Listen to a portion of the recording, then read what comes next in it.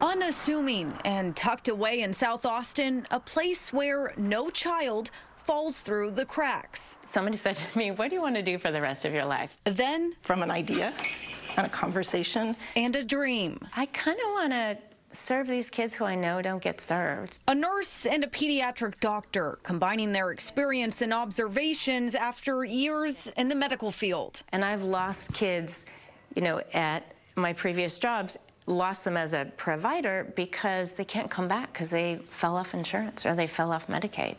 And now these kids don't have any options. So then sometimes they get back on and I see them two years later and they don't have their shots. And they've developed something that should have been seen a whole long time ago. Putting it together and going, are they going to come? And they did.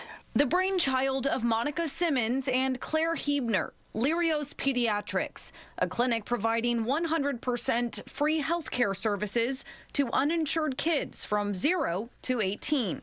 Kids are coming off of Medicaid. Kids are coming off those enrollments not because they don't qualify, but because there's paperwork and then there's a backlog of getting them back on it. So we're seeing kids that are in the gap right now that weren't before. You can get your vision checked, your weight checked, your hearing checked, all of those things that a typical pediatrician would do.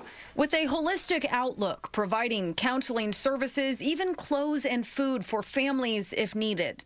We've tried to put together enough resources that we can meet immediate needs here in the clinic and then re- send them out to other community organizations that are really designed to meet those needs. She needed a checkup, and I was like, well, insurance, I don't have that right now. Learning about the clinic was a pleasant surprise for Nikita Cervantes, a mom of three. Four years old. It's pretty big. I was like, uh, doctor's offices are free? uh, no, they're not. They're like, yeah, it's free.